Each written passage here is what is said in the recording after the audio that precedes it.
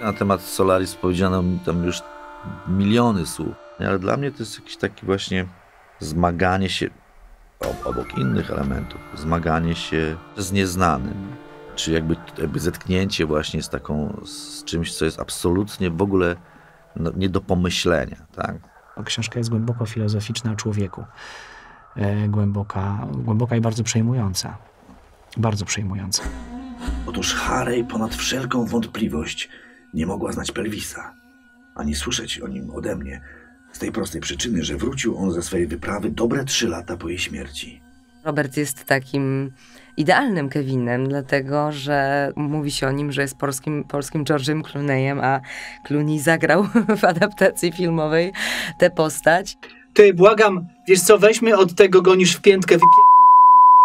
Gonisz w piętkę, tylko pozwólmy Robertowi powiedzieć, powiem ci i ty mi powiesz. Gonisz w piętkę. Ale nawet gdyby tak Ja mam mówił. Ja mówię codziennie dwa razy gonisz piętkę. Nie, ale wszystko jedno, gonisz w piętkę, no nie Jak może jest, pójść. mam Robert zieloną. Więckiewicz, to jest firma. aktor, z którym oswoiliśmy się już jako z takim twardzielem, prawdziwym, stuprocentowym mężczyzną. Można byłoby powiedzieć, że nie balibyśmy się tego, gdybyśmy rzeczywiście wystrzelili takiego faceta w kosmos. Pierwsza chmura sunąca błękitem, mówię tak z przyzwyczajenia, bo błękit ten jest rudy za czerwonego. Dobra, no ja już wiem, wiem, wiem, wiem, wiem. No, to Normalne, nie? Jest rudy za czerwonego, a przecież biały podczas błękitnego. W trakcie czytania rzeczywiście miałem trochę kłopotów, z, szczególnie z tymi wielokrotnie złożonymi zdaniami i, wtrąceniami. Czekaj, czekaj, czekaj, czekaj. Spokojnie, uspokój się, Robert. Bo mamy tutaj do czynienia ze zdaniami, które zajmują pół strony, prawda?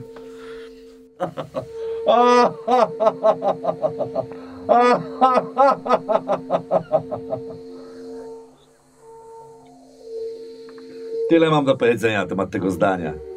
Mam takie poczucie, że, e, że te rozwlekłe zdania opisujące na przykład te symetriady czy mimoidy, one są tak, tak specjalnie, że tutaj pewien rodzaj takiego szybkiego cięcia by chyba nam się może nie sprawdził, tylko to jest jakby bardziej epickie i dosyć zagmatwane, więc pomyślałem sobie, że właśnie takiej formy użył e, po to, żeby opisać coś, co jest w gruncie rzeczy niedefiniowalne. No bo Adam Woronowicz, e, Snaut, cybernetyk. Snout jest taką postacią moim zdaniem kluczową Solaris, drugoplanową, ale kluczową. Dużo rzeczy się, jakby impulsów zdarza przez Snouta. Mów mi szczur. Szczur. Znasz mnie tylko z fotografii, ale to nic to. Tak wszyscy mówią. Obawiam się, że na to nie ma rady, kiedy się zresztą miało rodziców o tak kosmicznych aspiracjach jak Ja dopiero szczur zaczyna brzmieć jako tako. Gdzie jest Gibarian?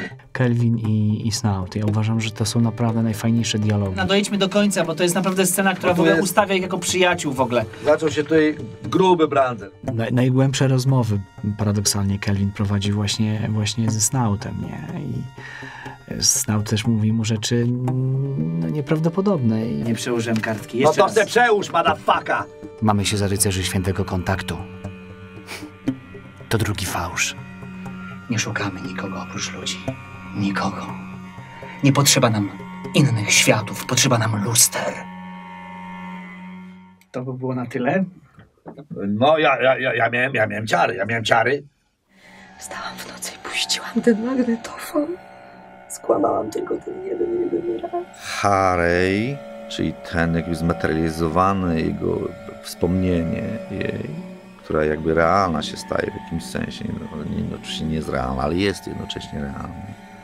Ale naraz w ciemności objąłem na oślep jej smukłe plecy i czując ich drżenie, uwierzyłem w nią. Oboje wobec tego zaczynają podejrzewać, że są w, ofiarami, czy są mm, osobami pewnego eksperymentu, czy pewnego programu, w którym uczestniczą trochę nie bardzo wiedząc w jakim celu i nie wiedząc, kto jest jego autorem.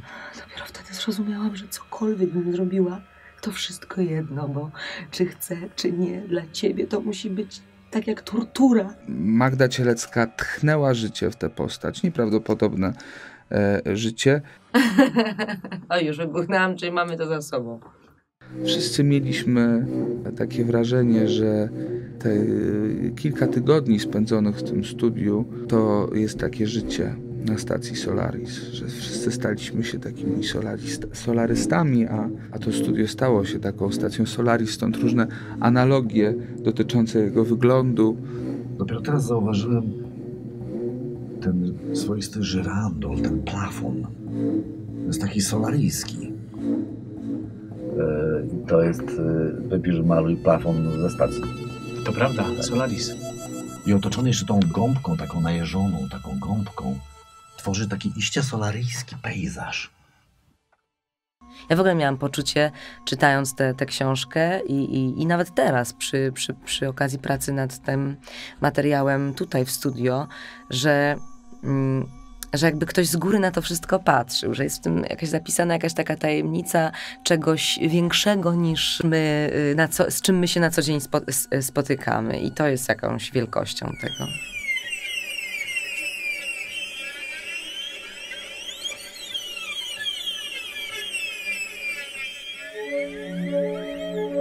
Ciemny twór zostaje zepchnięty w dół.